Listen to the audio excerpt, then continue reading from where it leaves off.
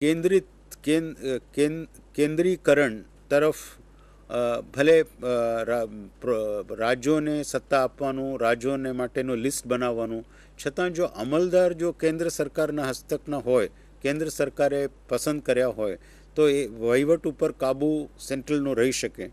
એટલે એ દૃષ્ટિએ લગભગ નવ જેટલા ઓલ ઇન્ડિયા સર્વિસીસ, એટલે અખિલ ભારતીય સર સેવાઓ જે કેન્દ્રમાં પણ કામ કરી શકે, રાજ્યમાં પણ કામ કરી શકે અને જેનું લગભગ કંટ્રોલ કેન્દ્ર સરકાર પાસે જ રહે. તો એમાં Indian service of engineers veterinary service એટલે પશુના ચિકિત્સકો મેડિકલ સર્વિસીસ પોલીસ એજ્યુકેશન એટલે શિક્ષણ, ખેતીવાડી એગ્રીકલ્ચર ફોરેસ્ટ એન્જિનિયરિંગ અને ફોરેસ્ટ સર્વિસ આટલી ઓગણીસો ને પાંત્રીસ પછી લગભગ પાંત્રીસ સુધી આ ઓલ ઇન્ડિયા સર્વિસીસ અસ્તિત્વમાં રહી. પણ ઓગણીસો પાંત્રીસ પછી ઘણા રાજ્યોએ કહ્યું કે અમારે ત્યાં ખેતીવાડીનું કામ જો હોય તો અમે પોતે ઓફિસર્સને પસંદ કરી શકીએ અને પોતે મૂકી શકીએ. એમાં કેન્દ્ર સરકારમાં જઈને કામ કરે એ ઓફિસર એની કંઈ જરૂર નથી. એટલે ફક્ત ત્રણ જ સર્વિસીસ અખિલ ભારતીય સેવાઓ તરીકે ઓગણીસો પાંત્રીસ પછી અસ્તિત્વમાં રહ્યા. એમાં આઈસીએસ એટલે આઈએએસ અત્યારે છે તે Indian civil service, Indian police અને મેડિકલ સર્વિસ. મેડિકલ સર્વિસ એટલા માટે રાખવામાં આવ્યું કે અનેક બ્રિટિશ ઓફિસરો જુદા જુદા રાજ્યોમાં કામ કરતા હતા. અને એ લોકોને એવું હતું કે ભાઈ ઇંગ્લિશ ડૉક્ટરો જ ઇંગ્લિશ લોકોને ટ્રીટમેન્ટ આપે. એમ કરીને આ ઓલ ઇન્ડિયા સર્વિસ રહી જવા પામી. બાકી તો ઇન્ડિયન સિવિલ સર્વિસ અને પોલીસ એ બે જ ખરેખર મહત્ત્વના ઓલ ઇન્ડિયા સર્વિસ તરીકે રહ્યા.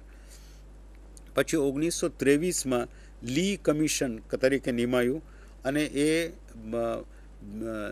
કર્મચારી ગણ, વહીવટી તંત્રનું ગોઠવણ અને એમાં ભારતીય લોક નાગરિકો વધુ પ્રમાણમાં કેમ જોડાઈ શકે પોતાનો ફાળો આપી શકે તે દૃષ્ટિએ આ કમિશન નિમાયું હતું. અને આ કમિશને તરત જ કહ્યું કે આ એગ્રીકલ્ચર વેટરનરી ફોરેસ્ટ એ સર્વિસીસ ખરેખર રાજ્યો સાથે કામ કરવામાં સુગમતા નથી એટલે એમને આપણે નાબૂદ નાબૂદ તો નહીં પણ ભવિષ્યમાં એનું ભરતી ન કરીએ. એટલે નાબૂદ તો નથી કરી, પણ જેટલા ઓફિસરો હતા એ રહી શક્યા, પણ પાછળથી ભરતી બંધ કરી નાખી. અને સાથે સાથે એમણે એ પણ કહ્યું કે જો ઓલ ઇન્ડિયા સર્વિસીસ આપણે આ રીતે રચના કરીએ તો એની પસંદગી માટે ખૂબ ઉચ્ચ સ્તરના નિષ્પક્ષ વ્યક્તિઓને નિમીને પબ્લિક સર્વિસ કમિશન આપણે સ્થાપીએ. તો એમને કેન્દ્ર ખાતે ફેડરલ પબ્લિક સર્વિસ કમિશન જે અત્યારે યુનિયન પબ્લિક સર્વિસ કમિશન અથવા યુપીએસસીના નામે ઓળખાય છે. તો એ એની સ્થાપના કરી અને દરેક રાજ્યમાં પણ સરકારી નોકરીયાતો લાગવગથી કે ઓળખાણથી પસંદ ન થાય, પણ મેરિટના ધોરણે પસંદ થાય તેના માટે રાજ્યોમાં પણ પબ્લિક સર્વિસ કમિશન્સ નિમવા માટેની ભલામણ કરી, જે સંવિધાનમાં બંને યુપીએસસી અને સ્ટેટ પબ્લિક સર્વિસ કમિશન બંનેનો ઉલ્લેખ છે અને કાર્યરત છે મોટાભાગના રાજ્યોમાં. સાથે સાથે ફાઇનાન્શિયલ રિફોર્મ્સ એટલે બજેટ ઓડિટ જેવી બાબતો સારી રીતે સુવ્યવસ્થિત રીતે ગોઠવવાનું કામ પણ તે અરસામાં થયું. કોમ્પ્ટ્રોલર એન્ડ ઓડિટર જનરલની નિમણૂક અઢારસો ને બ્યાસીમાં થયું અને રિઝર્વ બેંક ઓફ ઇન્ડિયા ઓગણીસો બત્રીસમાં. એટલે નાણાકીય વહીવટમાં પણ ગોઠવણ અને સુવ્યવસ્થિત તંત્ર એ લોકો, એ આરસામાં ગોઠવવામાં આવ્યું. અને સેક્રેટેરિએટમાં સચિવાલય, કેન્દ્રીય સચિવાલય અને રાજ્યનો સચિવાલય. પણ ખાસ કરીને કેન્દ્રીય સચિવાલયમાં કામ કરવાની પદ્ધતિ એમાં લોર્ડ કર્ઝન ઓગણીસો પાંચના અરસામાં એમણે ખૂબ મોટા પાયે સુધારણા એમને કરી. અને એમાં એક તો રાજ્યોમાંથી જે અધિકારીઓ આવીને કેન્દ્રમાં કામ કરે છે, એ વધુમાં વધુ પાંચ વર્ષથી વધુ સમય ન રહે અને પોતાના રાજ્યમાં પાછો જાય. આજે પણ એ સ્થિતિ ટેન્યુઅર સિસ્ટમ ચાલુ જ છે. ગુજરાતના કે આંધ્રાના આઈએએસ ઓફિસરો હોય, આઈપીએસ ઓફિસર્સ હોય, ફોરેસ્ટ ઓફિસર્સ હોય, એ કેન્દ્ર સરકારમાં નોકરી કરે છે, પણ પાંચ વર્ષ વધુમાં વધુ અને પછી પાછા પોતાના રાજ્યમાં ફરે છે.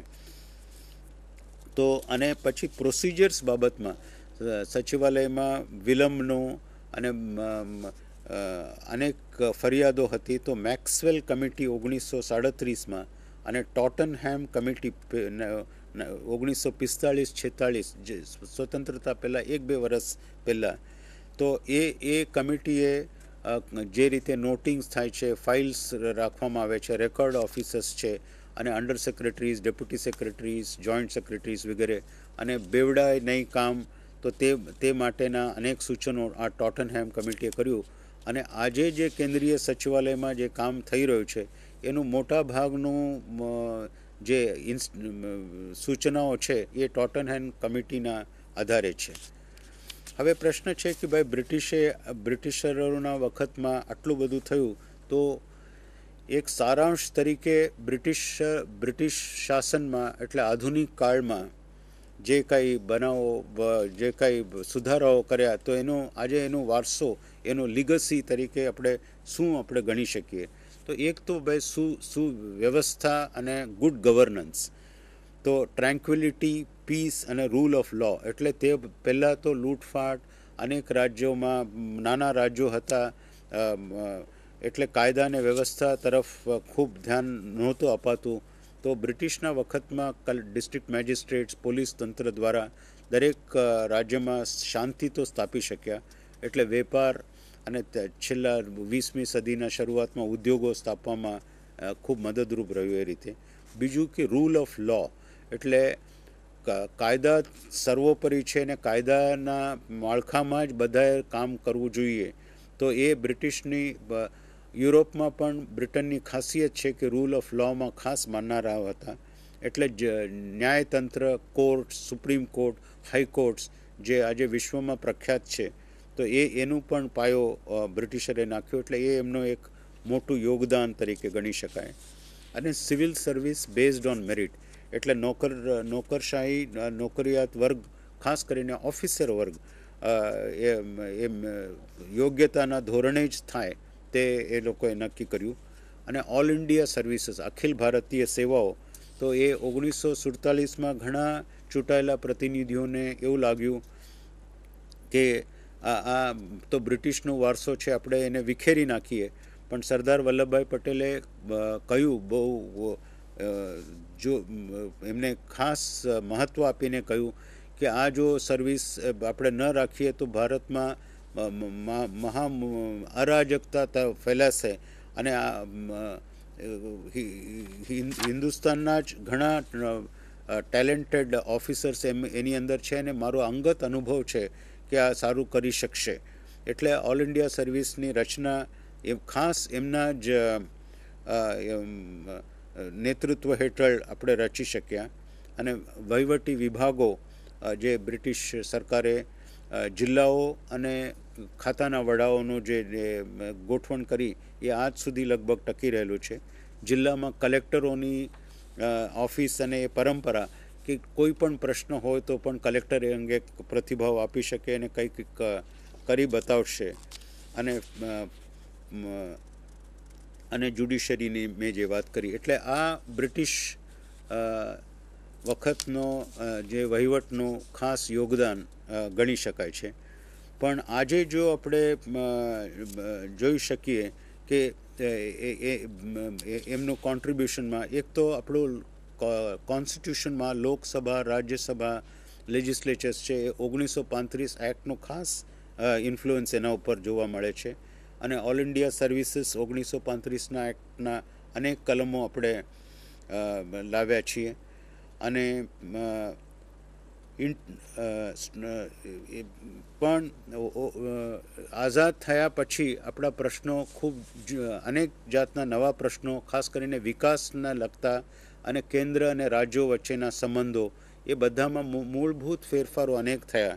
તો એના કારણે સંવિધાનમાં interstate councils national development councils એ કરવાની જરૂર પડી અને વિભાગો પણ ભૂતકાળમાં તો ફક્ત લો એન્ડ ઓર્ડર અને રેગ્યુલેટરી વિભાગો હતા અને વિકાસનું બહુ ખાસ મહત્ત્વ નહોતું પણ આયોજન પંચ અંતરિક્ષમાં સંશોધન કરવા માટેનું સમુદ્રીય વિકાસ માટે એટોમિક એનર્જી વગેરે આ આ આ વિષયો બ્રિટિશના વખતમાં આવા વિભાગો હતા નહીં કારણ એ બધું તો ઇંગ્લેન્ડ ખાતે થતું હતું ને આપણે ત્યાં નહોતું જ.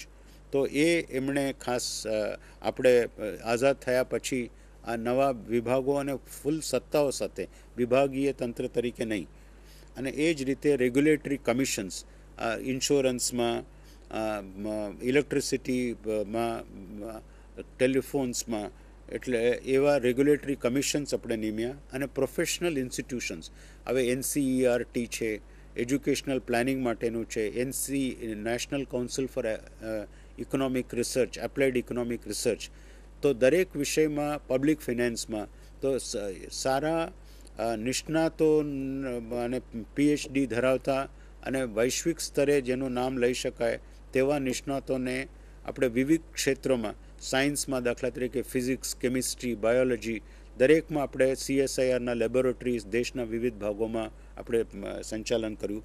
એ બધું બ્રિટિશના વખતમાં એ પ્રમાણમાં તો હતું જ નહીં.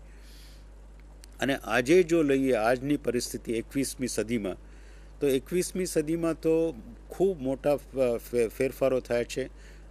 સરકારનું કામગીરી અને એનું એના ઓબ્જેક્ટિવ્સ શાના માટે સરકાર અસ્તિત્વમાં છે, તેમાં પણ ખૂબ પુષ્કળ ફેરફારો થયા છે. દાખલા તરીકે આ વૈશ્વિકરણના પગલે ઉદારીકરણ અને ખાનગીકરણ એટલે સરકારી કંપનીઓને સરકારી સાહસોને કાં તો પ્રાઇવેટ સેક્ટરને આપી દેવું અથવા તો એના શેર્સ પબ્લિકને માટે આપવા જેમ ઓએનજીસીમાં, ઇન્ડિયન ઓઇલ વગેરેમાં છે.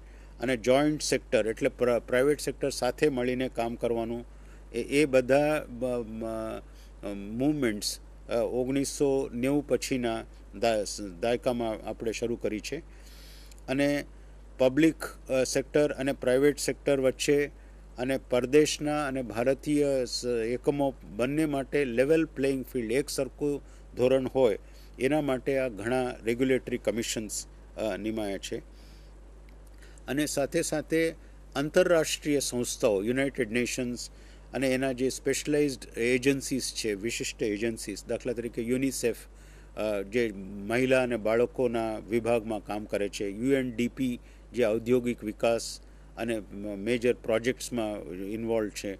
તો એવા અને એ food and agricultural organisation world health organisation વગેરે સંસ્થાઓ અને સૌથી છેલ્લા બે, ત્રણ, ચાર દાયકાઓથી ખાસ જેને વહીવટ ઉપર પણ પુષ્કળ કામ કર્યું છે તેવા વર્લ્ડ બેંક આઈબીઆરડી અને એશિયન ડેવલપમેન્ટ બેંક હવે એ સંસ્થાઓ પણ અનેક મોટા પ્રોજેક્ટ સાથે સંકળાયેલા છે અને પ્રોજેક્ટ સાથે સંકળાતી વખતે એને નાણાકીય સહાય આપતી વેળાએ અનેક શરતો એટલે નવીનીકરણ અને આધુનિકરણની દૃષ્ટિએ દાખલા તરીકે ટેન્ડરિંગ પ્રોસેસમાં હિસાબો રાખવામાં, અધિકારીઓની તાલીમ માટે અને કેપેસિટી બિલ્ડિંગ એનામાં સશક્તિકરણ માટે, તો એ એ બધું એમણે ખાસ આ આંતરરાષ્ટ્રીય સંસ્થાઓની સાથે રહેવાથી આ આ આ પરિ કામ આપણે કરી શક્યા અને આજે જે હ્યુમન રાઇટ્સ માનવ હક વિમેન્સ એમ્પાવરમેન્ટ મહિલાઓનું સશક્ત સશક્તિકરણ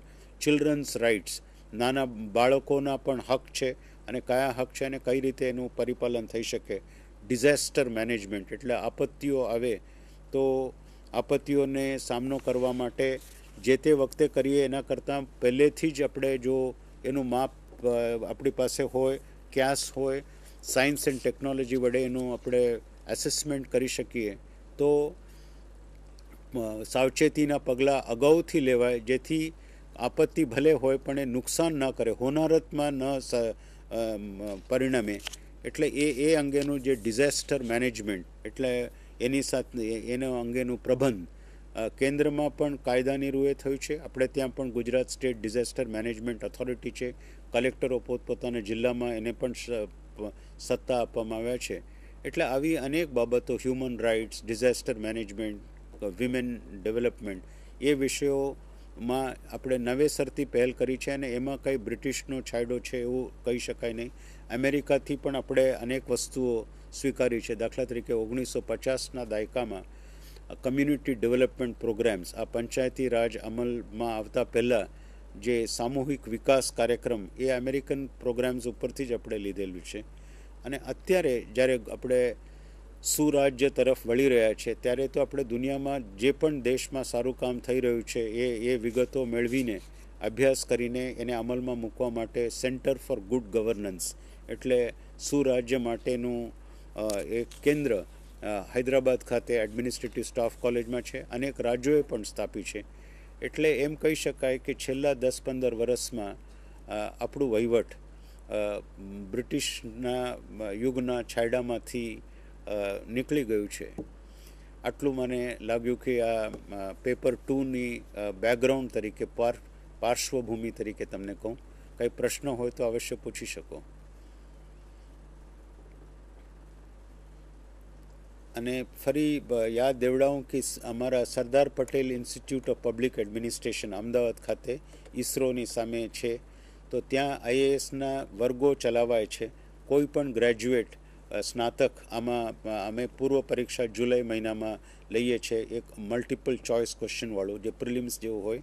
અને એના એમાં જે પસંદ થાય, એટલે જે સો દોઢસો જે હોય તો એમણે આપણે નિબંધ લખવાનું એક ટેસ્ટ આપીએ છીએ અને ઇન્ટરવ્યૂ. લગભગ આઈએએસ પરીક્ષાની મિની ટ્રાયલ તરીકે જ આપણે એને ગણીને સિત્તેર, બોતેર વિદ્યાર્થીઓ અત્યારે સામેલ છે અને ઇન્ટેન્સિવ ઘન, ઘનિષ્ઠ તાલીમ આપીએ છીએ. ગયા વર્ષે તેર વિદ્યાર્થીઓ અમારા પરીક્ષામાં ઉત્તીર્ણ થઈને સર્વિસમાં જોડાયા છે. અમુક આઈએએસમાં છે, અમુક વિદેશી સેવામાં છે, અમુક ઇન્કમ ટેક્સમાં છે. કસ્ટમ્સ એન્ડ સર્વિસ એક્સાઇઝ સર્વિસમાં છે. એટલે હું મારી ખાસ ભલામણ એ છે કે તમે યુનિવર્સિટીના સમયમાં, તમે ફર્સ્ટ યરમાં હોય કે થર્ડ યરમાં હોય ફાઇનલ યરમાં હોય કે અનુસ્નાતક હોય, પણ સિવિલ સર્વિસ એક બહુ જ રસપ્રદ કાર્યક્રમ છે કારકિર્દી છે. આઈઆઈટીના ગ્રેજ્યુએટ્સ અને નિર્મા યુનિવર્સિટીના એન્જિનિયર્સ ડૉક્ટરો ફિઝિયોથેરાપિસ્ટો એ પણ પરીક્ષામાં બેસીને આ વખતે એક આયુર્વેદ ગ્રેજ્યુએટ ગાંધીનગરમાં રહેતી એક છોકરી એકચ્યુઅલી આયુર્વેદ ઓફિસર તરીકે કામ કરતી હતી. એ પણ આવી શક્યા. અને ઇંગ્લિશ મીડિયમમાં ભણવું કોન્વેન્ટ સ્કૂલમાં જવાથી થાય છે એવું પણ નથી. ગયા વર્ષે જે સૌથી સારા માર્ક્સ જે ગુજરાતી વિદ્યાર્થીઓએ મેળવ્યું, એ ઓપન યુનિવર્સિટીમાંથી ગ્રેજ્યુએટ થયેલો. કોલેજમાં ગયા જ નથી. એટલે આ બધી બાબતોને ધ્યાનમાં રાખીએ તો ખરેખર ખંતથી મહેનત કરે અને પરિશ્રમ સતત જાળવી રાખે એના માટે આઈએએસ પરીક્ષા એટલું અઘરું સાબિત થશે નહીં અને આઈએએસમાં નિમણૂક મેળવતા જો યોગ્ય અભિગમ અપનાવો તો થઈ શકે એવું છે. અને કોલેજમાં છો ફર્સ્ટ યરમાં કે સેકન્ડ યરમાં કે થર્ડ યરમાં, પણ અત્યારથી જ જો તમારું ઓરિએન્ટેશન, અભિગમ આ આ પ્રકારનો હોય, તો આઈએએસ મળે કે ન મળે, પણ અન્ય સર્વિસીસમાં, બેન્કિંગમાં, બીજામાં એમાં પણ આ જનરલ નોલેજ આ તૈયારી તમને ખૂબ ઉપયોગી નીવડશે. અને હવે તો આઈએએસ